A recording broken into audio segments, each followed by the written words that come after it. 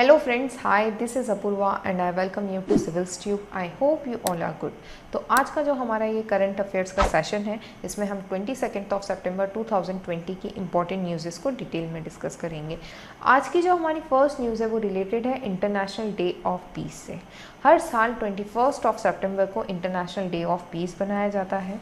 इस साल भी बनाया गया और 2020 की इसकी थीम थी शेपिंग पीस टुगेदर अब हम कुछ इंपॉर्टेंट फैक्ट देख लेते हैं इंटरनेशनल डे ऑफ़ पीस से रिलेटेड तो पहला इंपॉर्टेंट फैक्ट है कि जो डे है, वो ऑब्ज़र्व करना और सेलिब्रेट करना स्टार्ट करा था यूनाइटेड नेशन ने और ये कब से बनाते आ रहे हैं हम? 1981 से.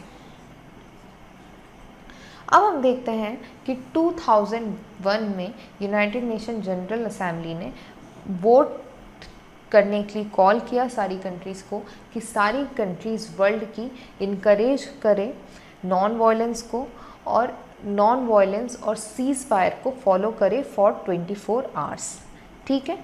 तो ये बहुत इंपॉर्टेंट चीज़ है कि जो प्रोटोकॉल है, ये जो सिस्टम है नॉन वायलेंस और सीज़ फायर का, ये हम 2001 से फॉलो करते आ रहे हैं और यूनाइटेड नेशन इनक्रेज करता है all the countries of the world को कि वो 24 four hours of non violence को फॉलो करें।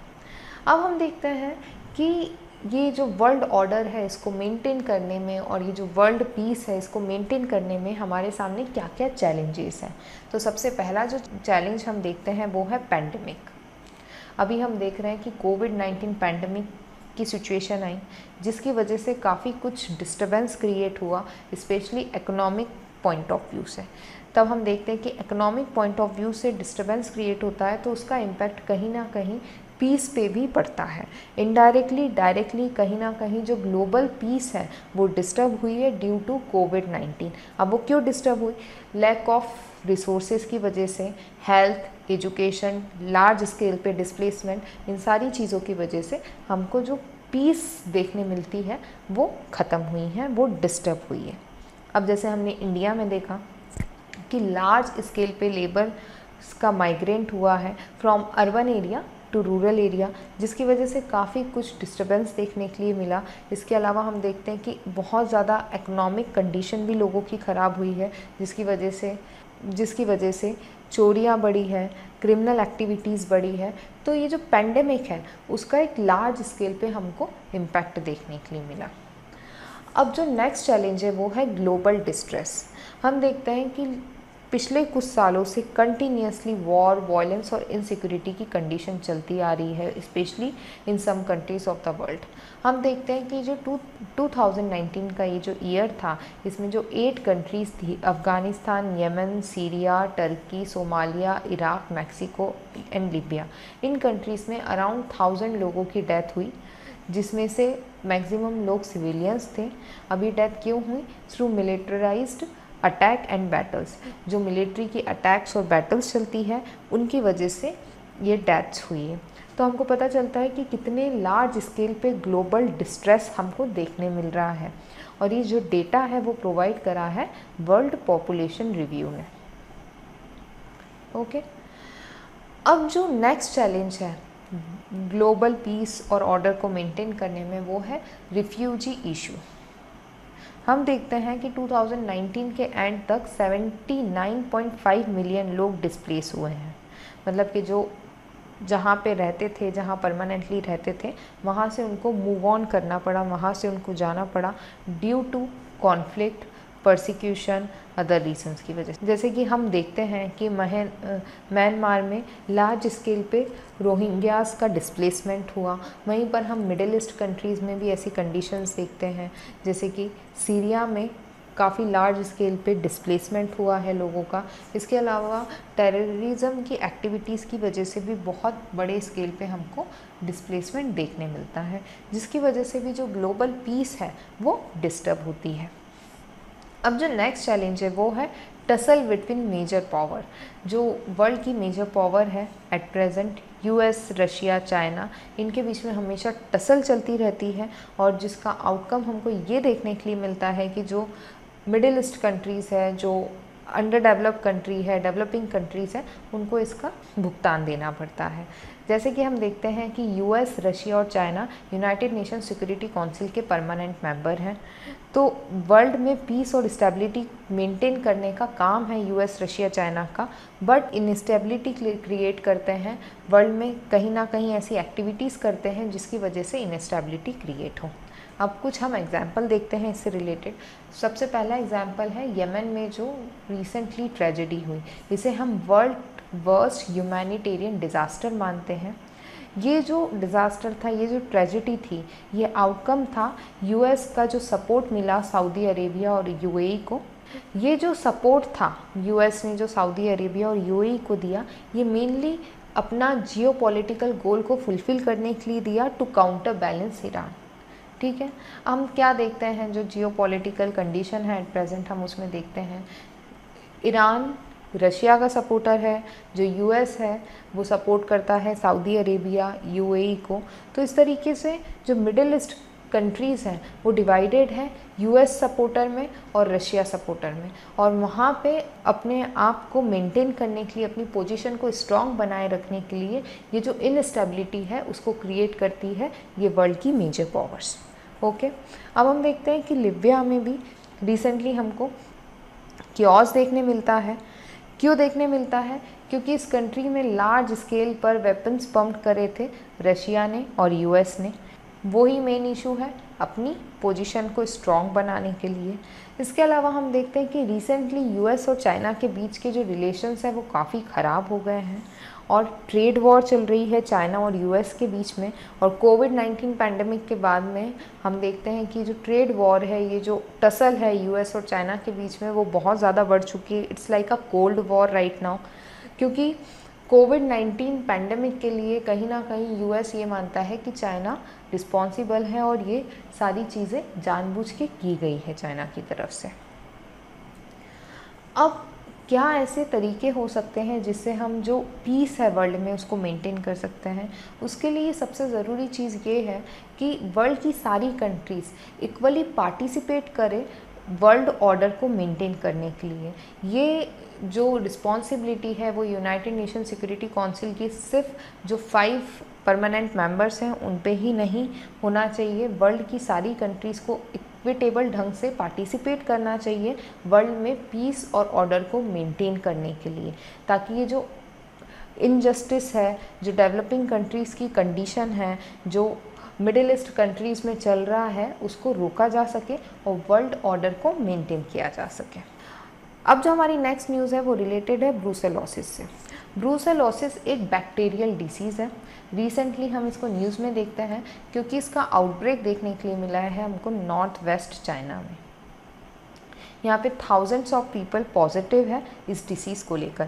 आप याद रखिएगा कि ये एक बैक्टीरियल डिसीज़ है, यहाँ से डायरेक्ट क्वेश्चन बनता है एग्ज़ाम में कि कौन सी डिसीज़ क्या है। जैसे हम कोविड नाइन्टीन के बारे में पढ़ते हैं तो कोरोना एक वायरस है। वहीं पर ये जो ब्रूसेलोसिस है, ये एक बैक्टीरियल डिसीज़ है। अब ये क्या होती है, कैसे फैलती है, ये सारी चीज़ें हम देख लेते हैं। तो ये जो ब्रूसलोसिस है, बैक्टीरियल डिसीज़ है मेनली किससे हमको ये फैलती है? मेनली इन्फेक्ट करती है due to cattle swine goat sheep dogs इनमें होती है ये डिसीज़ और वहाँ से हमारी बॉडी में ट्रांसमिट होती है ह्यूमन बॉडी में ट्रांसमिट होती है। अब ये ह्यूमन बॉडी को कैसे इन्फेक्ट करती है? तब ह्यूमन्स डायरेक्ट कॉन्टैक्ट में आते हैं इन्फेक्टेड एनिमल के और यदि उसको खाते हैं और उनसे कंटेमिनेटेड वाटर को पी लेते हैं तो उस कंडीशन में ये डिसीज़ हो सकती है।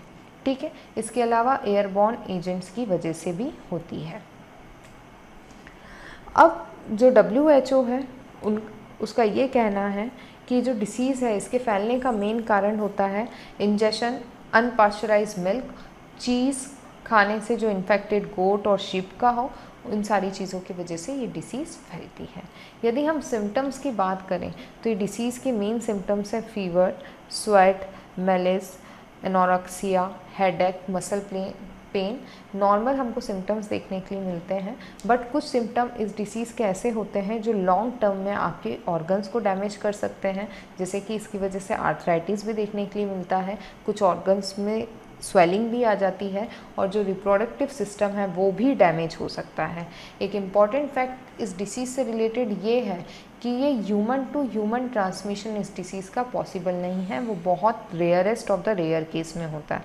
तो दिस इज़ वेरी इंपॉर्टेंट है क्योंकि कोविड 19 जो है, वो ह्यूमन टू ह्यूमन ट्रांसमिशन है बट इस डिसीज़ की एक इंपॉर्टेंट चीज़ और एक अच्छी बात यह है कि इस डिसीज़ का human to human transmission possible नहीं है और होता भी है तो वो rarest of the rare case में होता है। अब जो आज की हमारी नेक्स्ट न्यूज़ है, वो रिलेटेड है पार्लियामेंट्री कमेटी से। पार्लियामेंट्री कमेटी रिसेंटली पिक्चर में हमको देखने के लिए मिली, क्यों न्यूज़ में देखने के लिए मिली? क्योंकि रिसेंटली गवर्नमेंट ने टू एग्रीकल्चर बिल को राज्यसभा में पास कर दिया। बट अपोजिशन का ये कहना है, इस बिल को स्क्रूटनाइज नहीं किया गया पार्लियामेंट कमेटी के द्वारा। ठीक है? इसलिए हमको पार्लियामेंट्री कमेटी अभी न्यूज़ में देखने मिल रही है। तो हम पार्लियामेंट्री कमेटी से रिलेटेड जितने भी इंपॉर्टेंट फैक्ट्स हैं, जितनी भी इंपॉर्टेंट बातें हैं, वो यहाँ पर डिटेल में डिस्कस करेंगे। तो सबसे पहली चीज़ ये है कि जब भी पार्लियामेंट में कोई बिल आता है, कोई भी प्रपोज़ल आता है तो वो पास होने के पहले उस पर डिस्कशन होता है या किसी भी तरीके का एनालिसिस होता है। अब कोई भी प्रपोज़ल आया है तो उसकी जो स्क्रूटनी है, वो दो बेसिस पे होती है। पहला कि वो पार्लियामेंट में directly on the floor discuss हो, दोनों हाउसेस में उस बिल के ऊपर डिस्कशन हो आफ्टर दैट उस बिल के ऊपर वोटिंग होती है। ये एक तरीका होता है और दूसरा तरीका ये होता है कि जो हाउस है, वो इन बिलों को पार्लियामेंट्री कमेटी को रेफ़र करते हैं और वो इन बिल्स की स्क्रूटनी करती है। आफ्टर दैट इस बिल से रिलेटेड जितना भी आउटकम उनको देखने मिलता है, जो भी उनका एनालिसिस होता है, उससे रिलेटेड रिपोर्ट वो स्पीकर को देते हैं। ठीक है? अब हमको पार्लियामेंट्री कमेटी की ज़रूरत क्या है? हम जिस कंट्री में रहते हैं, वो एक डेमोक्रेटिक कंट्री है। सारे एम को मिलकर डिस्कस करना चाहिए पार्लियामेंट में डिस्कशन होना चाहिए। बट ऐसा क्यों है कि पार्लियामेंट्री कमेटी की हमको बहुत ज़्यादा ज़रूरत है? सबसे पहली चीज़ ये है कि यदि एग्जैक्ट तौर पे देखा जाए तो parliament hardly 70 to 80 days in the year मिलता है। जो काफ़ी लंबा टाइम नहीं होता इनफ टाइम नहीं होता है पार्लियामेंट के पास कि वो कोई भी पर्टिकुलर बिल को लेकर इतना डिटेल में एनालिसिस करे पार्लियामेंट में ही। ठीक है? और जो डिबेट होता है, हम जो पार्लियामेंट के डिबेट्स देखते हैं तो हम देखते हैं कि वो बहुत ज़्यादा पॉलिटिसाइज्ड होते हैं। तो इस तरीके का कोई भी इंपॉर्टेंट बिल हो, जो पब्लिक वेलफेयर से रिलेटेड हो तो उसकी यदि स्क्रूटनी कोई प्रॉपर पार्लियामेंट्री कमेटी करे, वो ही ज़्यादा बेटर है। क्योंकि कोई भी मैटर तब डिबेट के लिए आता है पार्लियामेंट में तो हर पॉलिटिकल पार्टी अपने इंटरेस्ट को ऊपर रखती है। और जो एम होते हैं, वो उसकी टेक्निकल डिटेल्स पे भी इतना ज़्यादा ध्यान नहीं देते, क्योंकि वो सिर्फ़ पॉलिटिसाइज्ड मैटर होकर रह जाता है।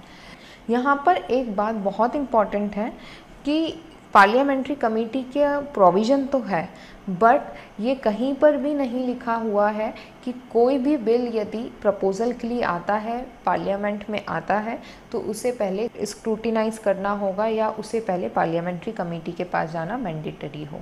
इस तरीके का कोई भी प्रोविज़न नहीं है। तो this is very important fact regarding parliamentary committee अब देखते हैं हम अपॉइंटेड एंड और कॉन्स्टिट्यूशन ऑफ़ दिस कमेटी यदि हम कमेटी की बात करें तो ये जो कमेटी है, इनको अपॉइंट और इलेक्ट करते हैं हाउस या nominated by the speaker speaker इसके मेंबर्स को नॉमिनेट करते हैं या हाउस में से इनको इलेक्ट किया जाता है।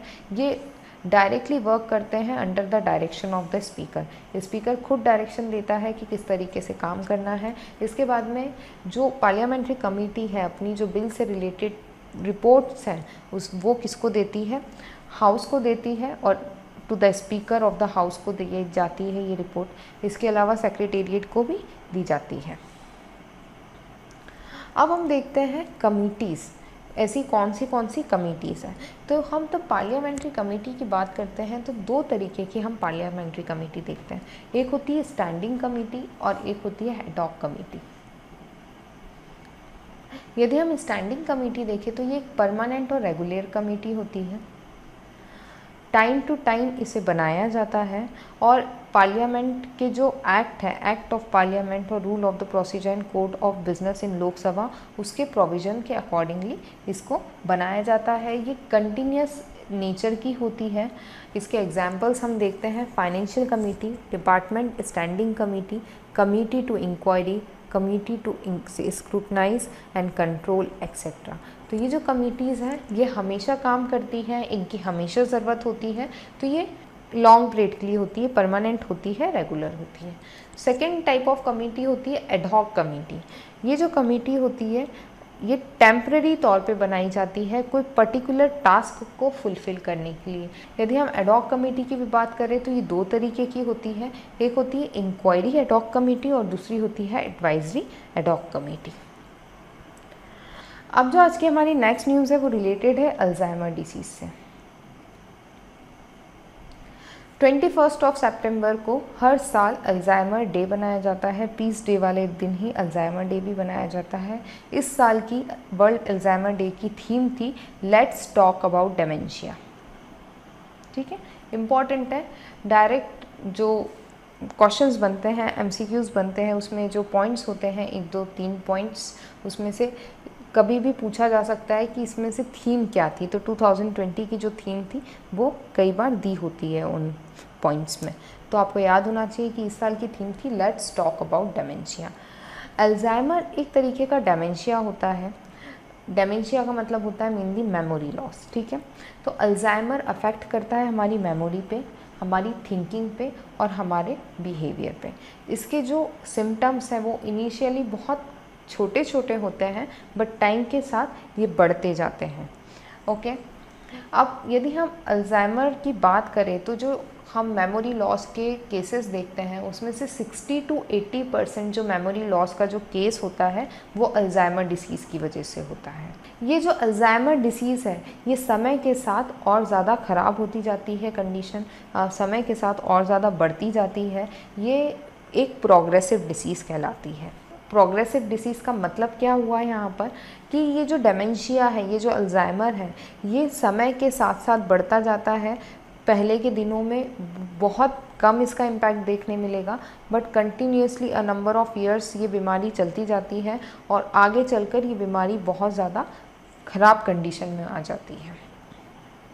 हम देखते हैं कि जो अल्जाइमर के जो पेशेंट्स हैं, वो मेनली 65 ईयर्स और उससे अबाव की एज के देखने मिलते हैं हमको। बट हम ये नहीं कह सकते कि अल्जाइमर जो डिसीज़ है, वो ओल्ड एज के कारण होती है या ये एक ओल्ड एज प्रॉब्लम है, क्योंकि काफ़ी सारे यंगस्टर में भी अल्जाइमर देखने के लिए हमको मिलता है। बट मैक्सिमम जो 65 प्लस पीपल हैं, उनमें हमको अल्जाइमर देखने के लिए मिलता है। अल्जाइमर ये जो डिसीज़ है, इसका प्रेजेंटली कुछ भी क्योर नहीं है, कोई भी इस बीमारी का इलाज नहीं है। बट जब आपको सिम्टम्स पता चल जाते हैं तो इससे रिलेटेड कुछ मेडिकेशन दिया जाता है, जिससे इसकी जो प्रोसेस है, उसको स्लो करा जा सकता है। बट अल्जाइमर को ठीक करने के लिए एज सच कोई मेडिकेशन अभी तक हमारे पास नहीं है, और इस चीज़ के लिए अभी भी रिसर्च कंटिन्यू चल रही है। तो हर साल ट्वेंटी फ़र्स्ट ऑफ़ सेप्टेम्बर को बनाया जाता है अल्जाइमर्स डे और इस साल की थीम थी लेट्स टॉक अबाउट डेमेंशिया ये दोनों चीज़ें काफ़ी इंपॉर्टेंट हैं। अब जो आज की हमारी नेक्स्ट न्यूज़ है, वो रिलेटेड है एग्रीकल्चर बिल से। हमने रिसेंटली पार्लियामेंट्री कमेटी के बारे में पढ़ा, उसमें हमने देखा कि अपोजिशन ने ये ऑर्ग्यू किया है कि पार्लियामेंट्री कमेटी के द्वारा स्क्रूटिनाइजिंग नहीं किया गया। एग्रीकल्चर बिल्स को। तो अब हम देखते हैं ये एग्रीकल्चर बिल्स का क्या इशू है।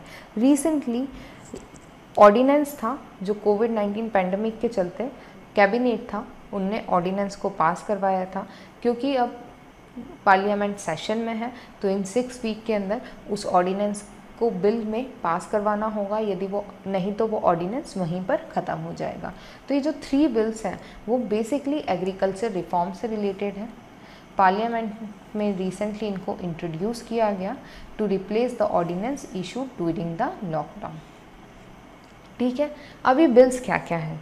फ़र्स्ट बिल है farmers produce trade and commerce promotion and facilitation bill 2020 second bill है farmer empowerment and protection agreement of price assurance and farm service bill और थर्ड है एसेंशियल कमोडिटी जो act है, उसमें अमेंडमेंट से related ठीक है? तो ये जो तीन बिल है, काफ़ी इंपॉर्टेंट है। इनकी कुछ कुछ कंसर्न्स हैं। इस बिल की वजह से लार्ज स्केल पे हमको all over the country protest देखने के लिए मिल रहा है। इसलिए हमको पता होना चाहिए कि इस बिल में क्या प्रोविजंस हैं। प्लस हमको ये भी पता होना चाहिए कि इन बिल से रिलेटेड क्या कंसर्न्स हैं। तो सबसे पहले हम देखते हैं कि इन बिल्स का ऑब्जेक्टिव क्या है। तो ये जो फ़र्स्ट बिल है farmer produce trade and commerce promotion and facilitation bill 2020 ये जो बिल है, ये फार्मर्स को प्रोवाइड करता है कि वो फ्रीली ट्रेड कर सकें अपनी एग्रीकल्चर प्रोडक्ट और एग्रीकल्चर फार्म कमोडिटीज़ में। ओके ये इसका मेन ऑब्जेक्टिव है। फार्मर्स और ट्रेडर्स इंजॉय कर सके freedom of choice of sale and purchase of agriculture produce इस बिल में ये भी कहा गया है कि बैरियर फ्री इंटर स्टेट और इंट्रा स्टेट ट्रेड कॉमर्स होना चाहिए। इन एग्रीकल्चर प्रोडक्ट और एग्रीकल्चर जो भी प्रोड्यूस होता है, उसमें इसके बाद में इसके अंदर इलेक्ट्रॉनिक ट्रेडिंग से रिलेटेड भी प्रोविजंस दिए गए हैं कि एक इस तरीके का प्लेटफॉर्म बनाया जाएगा जहाँ पे सिमलेस ट्रेड प्रोवाइड किया जाएगा फॉर एग्रीकल्चर कमोडिटी इसके अलावा ये भी कहा गया इस बिल में कि स्टेट गवर्नमेंट को प्रोहिबिट किया जाएगा कि वो किसी भी तरीके की market fee sales levy for trade outside the APMC market ना लगाए। जैसे agriculture produce and market committee इसको फार्मर्स अपनी इंपॉर्टेंट जो भी क्रॉप्स होती है, जो भी एग्रीकल्चर प्रोड्यूस होता है, उसको बेचता है। बट यदि फार्मर इसके बाहर बेचता है फ्री मार्केट में बेचता है तो उस पर किसी भी तरीके का सेल्स लेवे या मार्केट फ़ी ना लगे, इस तरीके का भी प्रोविज़न है इस बिल में। अब जो नेक्स्ट बिल है, वो है farmer empowerment and protection agreement of price assurance and farm service ordinance related to contract farming ये जो पर्टिकुलर बिल है, ये रिलेटेड है कॉन्ट्रैक्ट फ़ार्मिंग से। ये काफ़ी समय से चलता आ रहा है कि इंडिया में ये जो कॉन्ट्रैक्ट फ़ार्मिंग है, ये प्रैक्टिस होनी चाहिए या नहीं?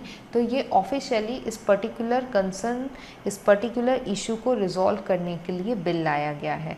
इसका जो प्रोविजंस है, वो फ्रेमवर्क प्रोवाइड करते हैं कि किस तरीके का ट्रेड एग्रीमेंट होना चाहिए for sale and purchase of farm produce इसके अलावा ये भी बताता है कि mutually agreed remunerative price framework होना चाहिए, ताकि फार्मर्स को किसी भी तरीके का नुकसान ना हो फार्मर्स को प्रोटेक्ट किया जा सके और एम्पावर किया जा सके।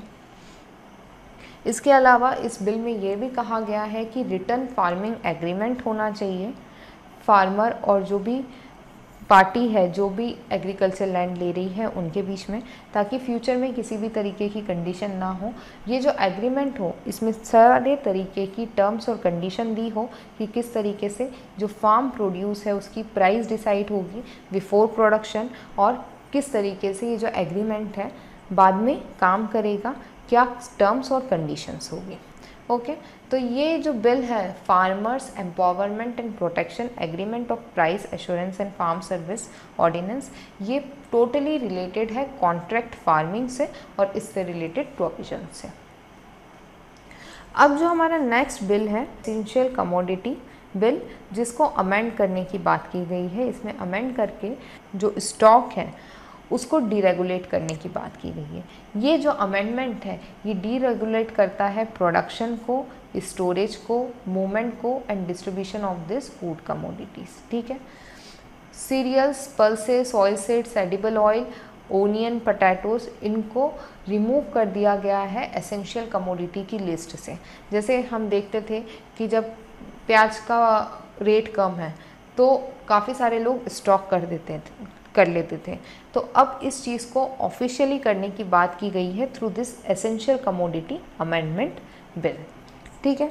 इसके अलावा इसमें ये भी प्रोविज़न है कि तब कोई वॉर लाइक सिचुएशन है फेमाइन की सिचुएशन है ड्रॉट की सिचुएशन है, कुछ इमरजेंसी वाली सिचुएशन है तो उस पर्टिकुलर टाइम में जो सप्लाई है, इन कम्युनिटीज़ का, उसको रेगुलेट कर सकता है सेंट्रल गवर्नमेंट ठीक है? बट इसमें भी एक चीज़ दी हुई है कि ये जो सप्लाई है, इसको तो सेंट्रल गवर्नमेंट रेगुलेट करेगा बट एक्सपोर्ट जो होता है एक्सपोर्ट को रेगुलेट नहीं करेगा, इससे रिलेटेड ओके ये जो तीन बिल्स हैं एग्रीकल्चर बिल्स हैं, इनसे रिलेटेड क्या कंसर्न है? तो सबसे पहला इंपॉर्टेंट पॉइंट यहाँ पर ये है कि जो बिल्स हैं, ये काफ़ी इंपॉर्टेंट बिल हैं। काफ़ी लार्ज स्केल पे ये एग्रीकल्चर सेक्टर में रिफॉर्म करने की बात कर रहे हैं। मतलब कि एग्रीकल्चर को एक लार्ज स्केल पे प्रोफेशनल एक प्रॉपर इंडस्ट्री के रूप में डेवलप करने के लिए ये बिल्स लाए गए हैं। तो यहाँ पर ये बिल्स लाने के पहले जो भी इंपॉर्टेंट स्टेक होल्डर्स हैं वेरियस स्टेक होल्डर्स हैं एग्रीकल्चर से रिलेटेड फ़ार्मिंग से रिलेटेड उनसे डिस्कशन होना चाहिए था जो यहाँ पर गवर्नमेंट ने नहीं किया, जिसके कारण काफ़ी ज़्यादा डिस्ट्रस्ट क्रिएट हो गया है among farmers and middle secondly हम देखते हैं कि जो बिल है, वो proper consultation with state government के बिगर आया है। यहाँ पर कोई भी प्रॉपर कंसल्टेशन नहीं हुआ है regarding this bill with state government हम देखते हैं कि जो एग्रीकल्चर है, ये स्टेट सब्जेक्ट है। स्टेट सब्जेक्ट है तो स्टेट गवर्नमेंट का से काफ़ी इंपॉर्टेंट है इस पर्टिकुलर बिल में और यहाँ पर जो स्टेट गवर्नमेंट का पॉइंट ऑफ़ व्यू नहीं जाना गया प्रॉपर कंसल्टेशन नहीं जाना गया, उसकी वजह से भी काफ़ी कुछ कंसर्न से इससे रिलेटेड क्योंकि ये जो हमारा फेडरल स्ट्रक्चर है, उसको डिस्टर्ब करता है। जो हम कोऑपरेटिव फेडरलिज्म की बात करते हैं, उसको ये जो बिहेवियर है, वो हर्ट करता है। इसके अलावा हम देखते हैं कि जो ये बिल है, उसमें A P M C agriculture produce and market committee इसकी जो पोजीशन है, इसको वीकन की गई है. इवेंचुअली इसमें इनडायरेक्टली ये कहा गया है कि समय के साथ जो मिनिमम सपोर्ट प्राइस है, उसको विड्रॉ किया जा सकता है. फार्मर्स के मन में इसको लेकर भी काफ़ी ज़्यादा इनसिक्योरिटी है. तो ये जो जितने भी इंपॉर्टेंट इशूज़ हैं, जितने भी इंपॉर्टेंट कंसर्नस हैं, जिसको अभी तक नहीं देखा गया है, जिसको अभी तक रेक्टिफाई नहीं किया गया है तो गवर्नमेंट को ज़रूरत है कि वो इन पर्टिकुलर एरियाज़ में काम करें. इसके अलावा हम देखते हैं कि फ़ूड सिक्योरिटी को अंडरमाइन किया गया है इस बिल में। ये कहा गया है कि इमरजेंसी की सिचुएशन है drought famine war like situation है। इस सिचुएशन में भी गवर्नमेंट एक्सपोर्ट को प्रोसेसर्स को और ट्रेडर होर्डिंग को रेगुलेट नहीं करेगी। तो ये कहीं ना कहीं हमारी फ़ूड सिक्योरिटी को भी अंडरमाइन करता है। इसके अलावा यहाँ पर कोई भी मैकेनिज़्म नहीं है फॉर प्राइस फिक्सेशन यहाँ पर गवर्नमेंट एक बिल तो लेकर रही है प्राइस एश्योरेंस बिल जिसके अंदर प्रोटेक्शन दिया गया है फार्मर्स को अगेंस्ट प्राइस एक्सप्लॉइटेशन बट कहीं पर भी यहाँ पर प्राइस फिक्सेशन की बात नहीं की गई है। इसलिए जो प्राइवेट कॉरपोरेट हाउसेस हैं जो कॉन्ट्रैक्ट फ़ार्मिंग में इन्वॉल्व रहेंगे या जो ट्रेडर्स के रूप में फार्मर्स से डील करेंगे फ्री हैंड होगा कि वो फार्मर्स को ईजिली एक्सप्लॉइट कर सकें। तो ये जो बिल है, इसमें काफ़ी सारे कंसर्नस हैं, काफ़ी सारे चैलेंजेस हैं, जिनको रेक्टिफाई करने की बहुत ज़्यादा ज़रूरत है। अब वे अहेड ये हो सकता है इसका कि गवर्नमेंट को जितने भी स्टेक होल्डर्स हैं, जो भी इस पर्टिकुलर बिल से इम्पैक्ट हो रहे हैं, उनके साथ प्रॉपर ढंग से डिस्कशन करना चाहिए और फिर डिसाइड करना चाहिए कि हमको किस तरीके से आगे मूव ऑन होना है इन बिल्स के साथ और हमको किस तरीके से पॉलिसीज़ को लेकर आना चाहिए कि 2020 तक की जो गवर्नमेंट का गोल है कि जो फार्मर्स की इनकम है, जिसको डबल करना है, उसको वो ईज़िली अचीव कर सके और जो एग्रीकल्चर सेक्टर है, उसको लार्ज स्केल पे रिफॉर्म भी ला सके प्रोडक्टिविटी इंक्रीज़ कर सके और एग्रीकल्चर एक सस्टेनेबल तरीके से लार्ज स्केल पे हो सके। तो आज के लिए बस इतना ही। Thank you for watching this session यदि आपको हमारे लेक्चर्स अच्छे लग रहे हैं तो प्लीज़ लाइक करें सब्सक्राइब करें, ज़्यादा से ज़्यादा शेयर करें, ताकि मैं और ज़्यादा मोटिवेट होकर इस तरीके के लेक्चर्स बताऊँ बनाऊँ। और यदि आपको ये जो सेशंस हैं करंट अफेयर्स की, इसकी पीडीएफ चाहिए तो आप सिविल ट्यूब नाम का जो हमारा ग्रुप है टेलीग्राम पे, उसे ज्वाइन कर सकते हैं। वहाँ पे आपको इन सारे सेशंस की पीडीएफ मिल जाएगी। Thank you